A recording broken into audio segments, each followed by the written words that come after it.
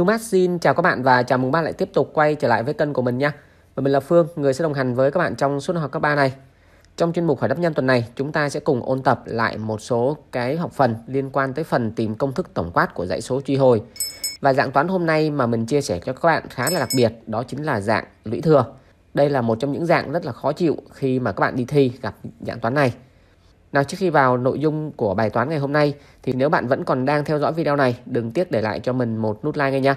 Đồng thời lên đầu tiên các bạn ghé thăm kênh của mình, đừng quên bấm một nút đăng ký và ấn vào chiếc chuông thông báo nhỏ bên cạnh để không bỏ lỡ những bài giảng mới nhất chỉ có tại UMAT TV.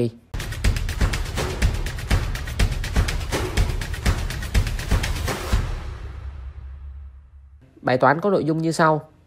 Cho dãy số UN thỏa U1 bằng 1, UN bằng 2, UN trừ 1 cộng cho 3 mũ N với n là số tự nhiên lớn hơn 1. Tính giới hạn lim của UN trên cho 2 nhân 3 mũ n cộng 1 bằng Đáp án A là 0, đáp án B là dương vô cùng, đáp án C là 3 phần 2 và đáp án D là 5 phần 2.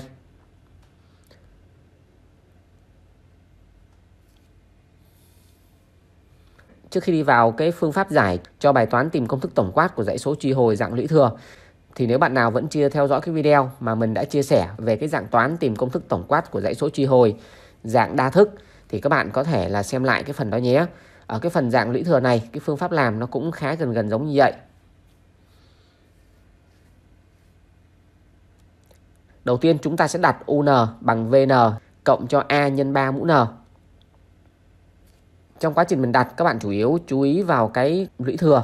Ở đây cái cơ số của lũy thừa là cơ số 3. Do vậy thì các bạn sẽ cộng cho một cái lượng là A nhân 3 mũ N nhé. Rồi khi các bạn đặt như vậy thì lúc đó ta sẽ có được là U1 chính là bằng là V1 cộng cho 3A. Tức là bạn thay N bằng 1 thôi. Mà U1 thì bằng 1 rồi, nên ta sẽ có được là V1 chính là bằng là 1 trừ cho 3A. Tiếp đến thì dựa trên cái cách đặt này, chúng ta sẽ tìm mối liên hệ giữa VN và VN trừ 1 bằng cách chúng ta sẽ xét cái VN cộng cho A nhân 3 mũ N bằng UN. Ở đây thì mình viết ngược lại cái biểu thức mà ban đầu mình đặt thôi. Tiếp đến là dựa vào cái công thức truy hồi mà bài ra cho, thì chúng ta sẽ phân tích cái UN này nó sẽ bằng là 2 UN trừ 1 cộng cho 3 mũ N. Và theo cái cách đặt ban đầu, đó là UN bằng VN cộng cho A nhân 3 mũ N, thì UN trừ 1 cũng sẽ bằng là VN trừ 1 cộng cho A nhân 3 mũ N trừ 1 thôi. Lúc này chúng ta sẽ có được cái biểu thức tiếp tục bằng là 2 nhân cho V của N trừ 1 cộng cho A nhân 3 mũ N trừ 1 cộng cho 3 mũ N.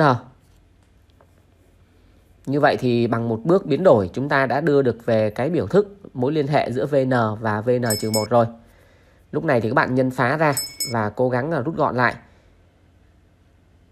Ta sẽ có được là VN cộng cho A nhân 3 mũ N sẽ bằng là 2VN trừ 1 cộng cho 2A nhân 3 mũ N trừ 1 cộng cho 3 mũ N. Tiếp đến là cái cụm A nhân 3 mũ N vế bên trái, các bạn vứt qua vế bên phải thôi.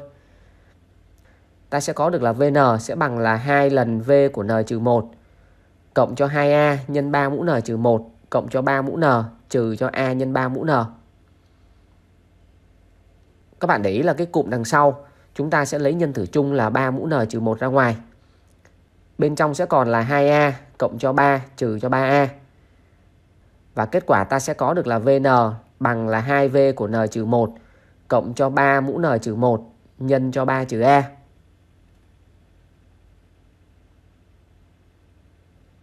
Tiếp đến là các bạn sẽ chọn A bằng 3. Cái việc mà mình chọn A bằng 3 là để cho cái cụm đằng sau nó bằng 0 luôn. Lúc này chúng ta sẽ có mối liên hệ giữa VN và VN-1 nó rất là gọn. Đó chính là VN bằng 2 lần V của N-1. Lúc này chúng ta sẽ cố gắng tiếp tục phân tích về V1. Ta sẽ có được là 2V của N-1 chính là bằng là 2 bình phương V của N-2. Và tiếp tục cứ như vậy, chúng ta sẽ phân tích được về cái kết quả cuối cùng. Đó là bằng 2 mũ N-1 nhân cho V1. Và V1 của mình thì bằng là 1 trừ 3A. Trong đó A ở đây là mình chọn bằng 3 rồi. Nên ta sẽ có được cái V1 của mình chính là bằng là trừ 8. Như vậy thế vào thì ta sẽ có được là cái VN tiếp tục bằng là 2 mũ N trừ 1 nhân cho trừ 8 hay là bằng là trừ 2 mũ N cộng 2. Hay nói tóm lại, chúng ta sẽ có cái được cái công thức tổng quát của VN. Chính là VN bằng là trừ 2 mũ N cộng 2. Và từ cái công thức tổng quát của VN này thì chúng ta hoàn toàn có thể suy ngược lại cái công thức tổng quát của UN dựa trên cái cách đặt ban đầu đó là UN bằng VN cộng cho A nhân 3 mũ N. Trong đó ở đây thì VN chính là bằng là trừ 2 mũ N cộng 2. A thì bằng là 3 rồi. Như vậy thay tất cả vào, ta sẽ tính được là UN sẽ bằng là 3 mũ N cộng 1 trừ cho 2 mũ N cộng 2. Như vậy là ta đã thành công trong việc đi tìm cái công thức tổng quát của dãy UN. Cái nhiệm vụ còn lại cuối cùng là chúng ta đi tìm lim của UN trên cho 2 nhân 3 mũ N cộng 1 thì khá là dễ dàng rồi. Ở phần này thì các bạn tự tính nhé. Còn không thì các bạn cũng lấy máy tính ra các bạn bấm cũng được. Thì kết quả của mình sẽ bằng là 3 phần 2. Và các bạn sẽ chọn đáp án là C. Như vậy thì đối với phương pháp bài toán này thì các bạn nhớ dùm cho mình về cái cách đặt. Mình nói lại một lần nữa, đó là khi các bạn đặt từ UN qua VN thì các bạn phải chú ý dùm cho mình cái cơ số của lũy thừa. Ở đây cơ số lũy thừa của mình là cơ số 3 là 3 mũ N. Thì như vậy khi các bạn đặt UN về VN thì các bạn sẽ đặt UN bằng VN cộng cho A nhân cho 3 mũ N. Trong đó A là một cái tham số mà sau quá trình biến đổi chúng ta có thể chọn được cái A tương ứng làm cho cái bài toán nó trở nên ờ, đẹp hơn. Để từ đó tìm được các công thức tổng quát của dãy UN nó dễ dàng hơn. Ok nhé các bạn.